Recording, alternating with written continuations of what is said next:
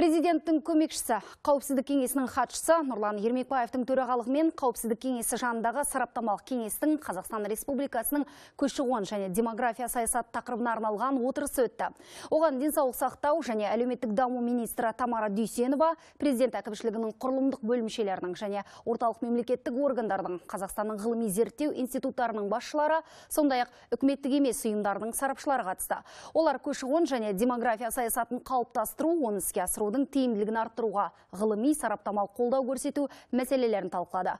Жұмыс қорытындысы бойынша сараптамалық кеңес тарапынан қауіпсіздік кеңесі мен мемлекеттік органдар жұмысында пайдаланылатын нақты ұсыныстар берілді.